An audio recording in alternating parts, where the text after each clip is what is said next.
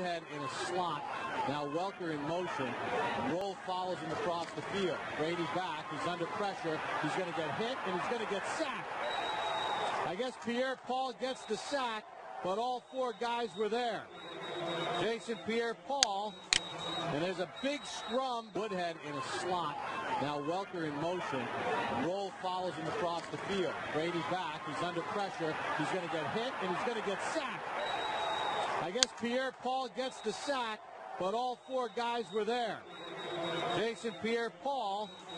And there's a big scrum back legs for either team. Well, there were no punches thrown. It was just they were wrestling. You're not going to really throw a flag for punches unless there's punches thrown. That's a good job by this Giants front four.